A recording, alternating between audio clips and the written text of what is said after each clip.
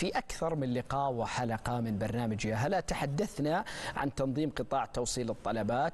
حقيقة يعني حتى أكون منصف أنه الهيئة العامة للنقل كانت متجاوبة نبيلة جدا نقية في تجاوبها حاضرين معنا دائما عن طريق المتحدث الرسمي الأستاذ صالح الزويد اليوم يمدون في هذا الكرم وفي هذا التجاوب معنا بعد أن دخلت ثلاث من القرارات حيز التنفيذ أو حيز النفاذ وسنتحدث عن تفاصيلها اليوم مع المتحدث الرسمي الهيئة العامة للنقل الأستاذ صالح الزويد من باب الإنصاف نشكرهم مرة ومرتين وثلاث على تجاوبهم معنا وإيضاح كل التفاصيل للجمهور وللمشاهدين. أستاذ صالح مساء الخير وشكرا لقبولك الدعوة.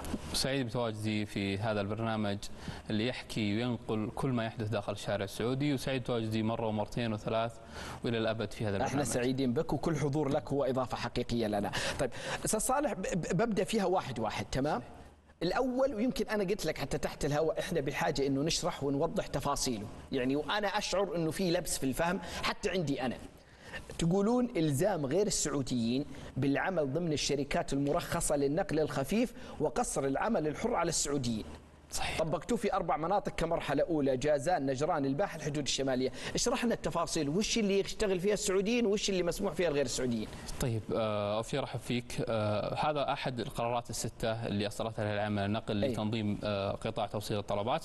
وهو قطاع آه وهو قرار آه مهم جدا. بشرحه ببساطة جدا. السعودي يعمل أينما كان وكيفما كان فهو العمل الحر المقصود فيه غير مرتبط بعقد معين أو أو آلية تعاقدية معينة بين تطبيق التوصيل وبين الشخص اللي يعمل فيه. أتكلم عن السعودي. السعودي يعمل بطريقة مع التطبيق بطريقة مباشرة. أما الغير السعودي سابقا كان الوضع أيضا يعمل بطريقة كانت. اليوم لابد أن يعمل ضمن شركة مرخصة في النقل الخفيف مصطلح النقل الخفيف. هذا احد أحد الأنشطة اللي ترخصها الهيئه العامه للنقل ويقصد فيه النقل البسيط يعني خلاف النقل البضائع النقل في الشاحنات مثلا. الخفيف لوسيلة النقل ولا النقل. للقطاع نفسه؟ لا وسيلة النقل اللي يعني دراجات نارية دراجات سيارات. دراجات نارية أو سيارات يقل وزنها عن 3500 مثل إيش كيلو. سيارة؟ يعني سيارة فان صغيرة تتكلم عن السيارات اللي تستخدم في نقل الطرود في نقل الأغذية إيه؟ في نقل البسيط لكن أنتم ما قصدكم من هذا الكلام انه توصيل الطلبات مقتصر على السعوديين لا أكيد هو مقتصر آه لا متاح لكل الجنسيات أي. ولكن منظم خلينا نسميه منظم آه بحيث غير السعودي يجب أن يعمل ضمن شركة مرخصة آه في في النقل الخفيف وطبق تدريجيا بداية من أبريل آه 2024 ويستمر 14 شهر بحيث إنه يطبق على مناطق معينة حتى نصل إلى تطبيقه داخل مناطق المملكة. طيب غير السعودي ضمن شركة واضح لابد إنه أنت مسجل على ملاك الشركة هذه علشان تعمل في التوصيل. صحيح. طيب السعودي السعودي متاح له يسجل مباشرة مع التطبيق. يروح يعني للتطبيق ويقول أنا بوصل معكم صحيح. يسووا اتفاقيه بينهم كاقتصاد تشاركي مثل مثل تطبيقات نقل الركاب يسجل مباشرة عن طريق التطبيق مباشرة. طيب هذه طبقتوها في أربع مناطق فقط صح طبقت في أربع مناطق بداية من أبريل وفي بداية شهر سبعة سيتم التوسع في ثلاث مناطق أخرى إيه؟ وأيضا حتى نمر حتى نغطي جميع؟ مناطق المملكة. يعني غير المناطق الأربع الآن غيرها ما زال العمل السعودي وغير السعودي بالاتفاق مع التطبيق مباشرة. كما كان سابقا سواء بالاتفاق مع التطبيق أو حتى بعض التطبيقات اليوم سابقة بخطوة وتتعاقد مع شركات مرخصة وتعمل بشكل كامل عن طريق الشركات المرخصة، بس خلينا نسميه إنه الوضع مستمر كما هو. إيه؟ التنظيم يستمر مرحلة بمرحله حتى نغطي متى المراحل الجاية؟ اليوم اليوم بدأنا في 1 أبريل المرحلة الأولى تشمل أربع مناطق. طيب. ثم في 1 يوليو 1 7 1 7 ثلاث مناطق أخرى. اللي هي؟ ثم سيتم الإعلان عن تدرج عن اعلانها طيب. لأنه مرتبطة بكل منطقة بطبيعه النشاط وحجم العمل اللي فيه وأيضا توفر الشركات المرخصة فيه. في شهر تسعة وأيضا في في شهر تسعة ثم في بداية السنة، في مرحلة أربع مراحل ها؟ إي نعم أربع مراحل. عندنا واحد سبعة بعدين في بداية تسعة تقريبا ثم بعدين واحد واحد واحد 12 ثم واحد ثلاثة المرحلة الأخيرة اللي, آه. تشمل مدينة الرياض. وبالتالي يصير شمل كل المناطق صحيح مدينة الرياض في 1 3 2025 صحيح طيب القرار الثاني اعتماد الزي الموحد. صحيح. تمام؟ إنه يلتزم السائق غير السعودي بأحد النموذجين. أنتم حاطين نموذجين. زي موحد العاملين لدى الشركة المرخصة في نشاط النقل الخفيف وزي موحد خاص بالمنشاه التي تقدم خدمات التوصيل عبر التطبيقات بعد اعتماد التصميم وأخذ موافقة الهيئة العامة للنقل والسعودي بما هو وارد في آه، لائحة الذوق العام يعني إنه يكون لبس جيد. طيب اليوم لو ما التزموا إيش العقوبات اللي تنتظرهم؟ في مخالفات في لائحة النقل الخفيف تطبق أي. عليهم، يعني خل بتكلم بشكل مبسط نرجع ثم ناخذ قرارات طيب قرار. يمكن آه، تطبيقات نقل التوصيل آه، آه، تطبيقات توصيل الطلبات أي. من القطاعات المهمة جدا في في المملكة العربية السعودية وتخدم عدد كبير من الناس، نتكلم عن 750 ألف طلب يوميا في مختلف مناطق المملكة. كم الإحصائية؟ معلش 750 ألف طلب يوميا في مختلف مناطق المملكة. فعدد كبير جدا. طبعا الرياض أكيد هي الحصة الأكبر من التطبيقات تصل إلى تقريبا 45 46% من عدد الطلبات. فعدد ضخم جدا. المميز في الست قرارات اللي صدرت في يناير إيه؟ إنها بنيت بالتعاون وبشراكة مع القطاع الخاص طيب. وأيضا آه بعد إعلانها وتطبيقها تم الاجتماع مع شركات القطاع الخاص شرح آلية تطبيق القرار واليوم برضو بعد تطبيقها تمت برضو مع القطاع الخاص. خلينا نتكلم اليوم طيب بعد ثلاث شهور وش النتائج اللي صارت آه، في آه، هذه الثلاث آه، قرارات. أول شيء نسبة نمو القطاع ما زالت مستمرة بنموها الطبيعي الربع الأول في 24 مقارنة في الربع الأول في 23 نتكلم عن نسبة ارتفاع تصل ل 35% كنمو في حجم الطلبات. نتكلم لو قرنا شهر بشهر حتى نعرف مثلا قرار اللي هو إلزام غير السعوديين بالعمل آه، في آه، ضمن الشركات المرخصة. هل أثر هذا القرار على القطاع أو لم يؤثر هذا القطاع؟ القطاع لما نقارن شهر بشهر نرى نسبة نمو طبيعية. فالقرار مناسب للسوق تأثيره مناسب للسوق وهذا ما نطمح له في الهيئة العامة للنقل. أن نعلن عن تشريعات تتواكب مع احتياج السوق وتطبق آه، أو تحقق ما نريده من مستهدفات لكن مين يراقب تطبيقها من عدمه؟ أنتم ولا في جهه ثانية؟ إحنا إحنا كقطاع بشكل عام هو منظم الهيئه العامه للنقل ونراقب تطبيقها كل القرارات سته وبنجيها بتفصيل في كل طيب. تطبيق من تطبيقها لكن اتكلم عن اليوم كقطاع كقطاع كامل فهو قطاع آه، ينمو بشكل الطبيعي وتم تطبيقه على أربع كمرحله اولى آه، ونرى انه التطبيق آه، جيد حتى الان نستمر في مراجعه التطبيق أيضا من المميز في في هذا القرار انه يتم مراجعه كل قرار على حده حتى نتاكد انه موائمته للسوق الهدف بشكل بشكل عام هيئة النقل تحرص على أن تكون هناك عملية توصيل جيدة بجودة عالية مع الحفاظ على السلامة سواء سلامة الغذاء نفسه سلامة نقل الغذاء نفسه مثلا مثلا لو أخذنا اشتراط الدرجات النارية اشترطنا مواصفات معينة للحافظة أو الحامل اللي يكون على الدباب أو سلامة برضو السلامة المرورية من خلال الزام آه، على اشتراطات معينة في السلامة المرورية وتطبيق آه، لائحة تنفيذية لنظام المرور بحيث نضمن السلامة المرورية آه، لهذا القطاع. طب اليوم إحنا في بداية الرحلة بعد ثلاث بعد شهر من بداية التطبيق. قدامنا مرحلة ثانية وثالثه ورابعه، الهدف أنه ننظم هذا القطاع بشكل جيد يرفع الجودة ولا آه، يعني يكون في أي آه، انخفاض في الطلب أو تأثر في القطاع بسبب قرار آه، أو جميل. بآخر. طيب بس أستاذ صالح بصراحة يعني أكثر ملحوظة الناس دائما يكتبون عنها وينزعجون منها هي المنظر العام اللي نشوفه في الشوارع لكثرة الدراجات النارية، عشوائية القيادة فيها، يمكن لو تتتبع كثير من الحوادث البسيطة صارت لهذا السبب، تشعر إنه إنه إنه في شيء غير منظم في الشارع، تشعر إنه في عشوائية، كثير من الدراجات، كثير من الطلبات، كثير من الصناديق والبوكسات الموجودة. صحيح. هذا يوصلكم أكيد. أكيد. إيش ونستشعر هذا الشيء. وإحنا اليوم كلنا نستخدم هذه التطبيقات ونتعامل معها ونراها ونراقبها ونتابعها. اليوم دوابات الدرجات النارية أحد القرارات الموجودة هو إعلان آلية تنظيمية لعمل الدراجات النارية في توصيل. وهذه شملت أكثر من جزء من من الأجزاء سواء من من ناحية المركبة نفسها اللي هي الدراجة النارية نفسها واشتراطات معينة سواء في مثلا إصدار بطاقة تشغيل خاصة فيها عمر محدد لها لا تتجاوز خمس سنوات أو إشتراطات تنظيمية تنظيمية نتكلم عن آه، مثلا آه، آلية الحصول على ترخيص للعمل في آه، في في الدراجات النارية أو حتى إشتراطات على السائق نفسه وإلزامه مثلا بإشتراطات السلامة الرئيسية الخوذة أو أو اللبس اللي يكون عاكس بحيث إنه نضمن سلامة مروريه وهذه آلية. نتكلم اليوم عن قطاع الدراجات النارية تشكل 38% من حجم عدد الطلبات فهو قطاع مؤثر قاعد يقدم خدمات كبيرة في هذا القطاع. الهدف تنظيمه فقط تنظيمه من ناحيتين من آه، درجة النارية نفسها وسلامتها المرورية أو حتى من الزي بحيث يكون بشكل لائق يساعد لا واسمح لي أضيف حاجة ثالثة مهمة جدا ألا وهي مهارة السائق.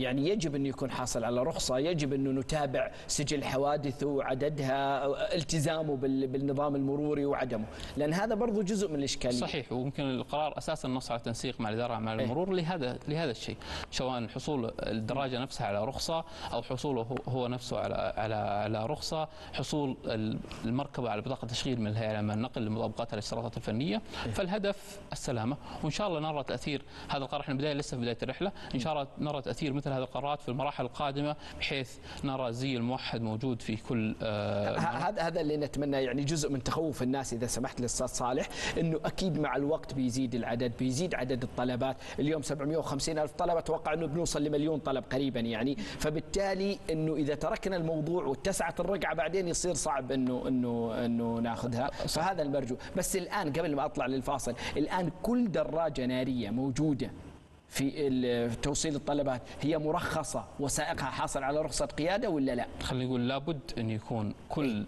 عامل في هذا التطبيق أو في هذا القطاع لابد أن يكون لديه آه، دراجة نارية مرخصة وأيضا يكون يكمل اشتراطات نظامية بشكل عام يعني بعيدا طيب, طيب لو لو ما أكملها العقوبات من المرور ولا منكم؟ باختلاف على اختلاف العقوبة نفسها إذا ما التزم مروريا فأكيد عند الإخوان في الإدارة العامة للمرور وإذا تنظيميا مثلا ما حصل على بطاقة تشغيل أو كذا برضو من هيئة النقل. اسمح لي اسمح لي ناخذ فاصل ونكمل تفضل. يلا بعد الفاصل مكملين معكم مع الأستاذ صالح الزويد.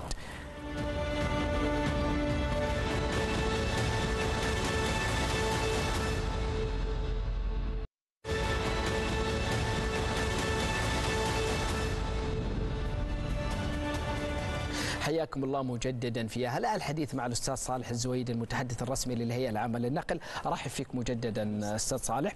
كنا نتحدث قبل شوي على عشوائية الدراجات وغيرها وهذه من الأشياء اللي وصلتكم. إيش غيرها من الملحوظات اللي وصلتكم من الجمهور من الناس؟ يعني أهم وأبرز الملحوظات. يمكن اليوم آه، مثل ما ذكرت قطاع كبير وضخم وفي عمليات توصيل العديدة. يمكن نسبة الشكاوى تصل الهيئة ما تصل أقل من 1 0.01 يعني قليلة جدا. نتكلم عن 3000 شكوى خلال الربع الأول. أي. آه، بتتك... يعني معظمها ترتبط في موضوع المرتجعات المالية وعدم آه، استرجاع المبالغ المحددة وعدم تقديم الجودة تقديم الخدمة بالجودة المطلوبة. فهي يعني ملاحظات شكلية. إحنا ندعو كل المستفيدين. إذا وجدت أي شكوى التطبيق ولم يجد أي تجاوب من هذا التطبيق. م. مركز خدمة العملاء في الهيئة 19929 عيدوا لنا معليش. 19929 19929 هذا إيش هو؟ هذا مركز الاتصال الموحد. إذا واجه آه، أي شخص أي مشكلة في أي قطاعات النقل ما أتكلم اليوم عن تطبيقات توصيل أتكلم عن عن تطبيقات برضو نقل الركاب آه، شركات الطرود نقل الع... أي أي أي قطاع من القطاعات اللي تنظمها الهيئة من النقل وإذا ما تجاوبت الشركة المرخصة إيه؟ مع الشكوى خلال خمس أيام عمل يستطيع رفع شكوى للهيئة العامة للنقل وتجاوب طيب معلش إحنا نتكلم عن توصيل الطلبات بس بمناسبة الحديث اللي ذكرته عن نقل الركاب. كان في قرار قوي لكم في بإيقاف واحد من التطبيقات؟ ليش؟ ليش أوقف؟ يمكن اليوم نتكلم عن قطاع آه، نقل الركاب نقل الركاب آه، وهو يعني قطاع كبير أيضا ويخدم آه، مئات الآلاف المستفيدين يوميا نتكلم آه، يعني نتكلم عن تطبيقات برضو مرخصة. حجبت حجب يعني خلال الفترة الماضية ست تطبيقات وأيضا الأسبوع الماضي ستة. ست تطبيقات آه. نعم. بعضها تطبيقات توصيل الطلبات وبعضها تطبيقات توصيل الطعام. آه والأسبوع الماضي أعلنا عن تطبيق آه تم حجبه لعدم ارتباطه آه بالأنظمة الرقمية للهيئة وأيضا التزامه بالانظمه آه، واللوائح. إحنا دائما نأكد للتطبيقات أنه العمل آه، في تطبيقات نقل الرقاب هو مقتصر يقتصر على السعوديين. فقط أيضا نؤكد عليه عليهم الالتزام بالأنظمة والاشتراطات مثال أي راكب أو أي آه، سائق آه، يلغي رحلات خمس مرات خمس إيه؟ أكثر من خمس خمس مرات خلال شهر واحد بعد قبوله لها أيضا لابد أن يحجب حسابه حتى يعني نرفع موثوقية التعامل مع هذه الطلبات وأيضا لا لحظة أنت الحين والله قلت معلومات مهمة إحنا نبغى ناخذها واحدة واحدة أنت قلت حجبته ستة وبعدين واحد الآن صح. سبعة تطبيقات حجبت بالكامل صحيح تمام؟ فصل لنا كلها نقل ركاب ولا ما بين ركاب وطلبات؟ ما بين ركاب وطلبات. إيه؟ ومخالفتها هي عدم الالتزام بالاشتراطات تضعها الهيئة العامة مثل إيش؟ أتكلم مثل اليوم تكلمنا اشتراطات سواء إيه؟ ربط إلكتروني مع أنظمة الهيئة. طيب. أيضا أتكلم مثلا في تطبيقات نقل الركاب آه عدم الالتزام بعمل آه قصر العمل على السعوديين فقط.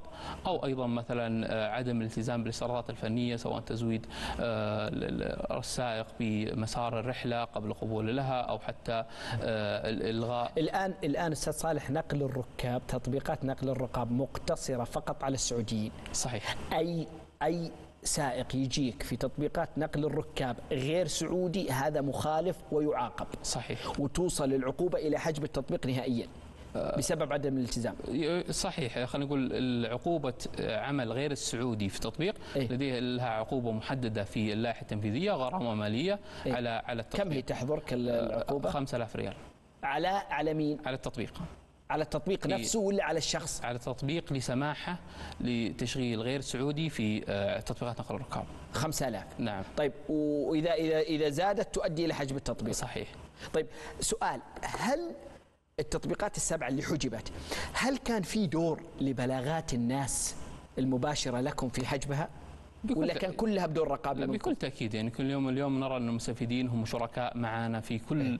القطاعات. اليوم نتكلم نستقبل المستفيدين بالنهاية هم عيننا الرقابية بالإضافة إلى جهود الفرق الرقابية اللي تقوم بعمل ميداني كبير. أيضا الرصد اللي يكون عن طريق استخدام تقنية الذكاء الاصطناعي أو الرصد الإلكتروني وغيره يساعدنا في رفع معدلات امتثال الشركات المرخصة للأنظمة والاشتراطات. جميل. اسمح لي بهذه المناسبة انه نعرض الآن على الشاشة. شكرا لمخرجنا الأستاذ محمد المسعودي.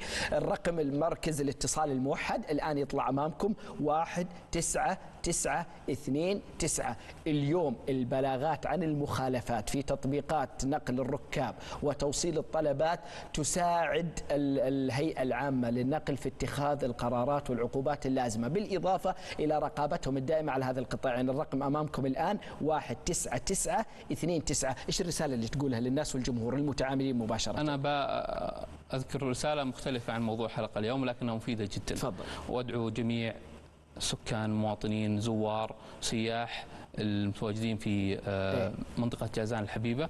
الأسبوع الماضي أطلقنا مشروع النقل العام في جازان. مشروع ضخم يغطي معظم مناطق والمعالم الرئيسية في حاضرة جازان. يربط جازان بأصابيا وأيضا أبو عريش. النقل العام مشروع ضخم.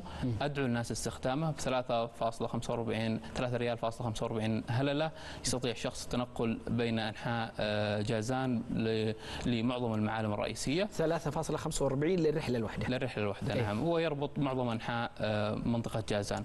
فادعو الجميع الاستفادة منه. هو بكورة واستمرار لمشاريع النقل العام اللي بدأت في في الطائف في المدينة في مكة في الدمام وفي الرياض أيضا. وإن شاء الله نراها في كل مناطق المملكة. وين المدينة الجاية؟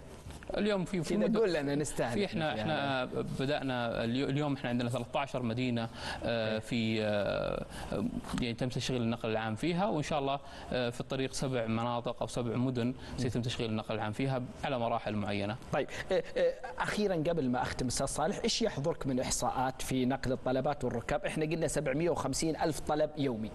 مثلا صحيح. في عدد الشركات العاملين إذا في يعني احصاءات أخيرة وصلتوا لها نعرفها نتكلم عن 225 مليون طلب خلال العام الماضي. 225 مليون طلب خلال العام الماضي في توصيل الطلبات. نتكلم عن 41 تطبيق مرخص. آه في شركات في شركات النقل الخفيف وصلنا 300 شركة مرخصة في النقل الخفيف اللي جزء منها يعملون في تطبيقات توصيل الطلبات. في 80 شركة دخلت البيئة التنظيمية التجريبية للعمل في الدرجات النارية.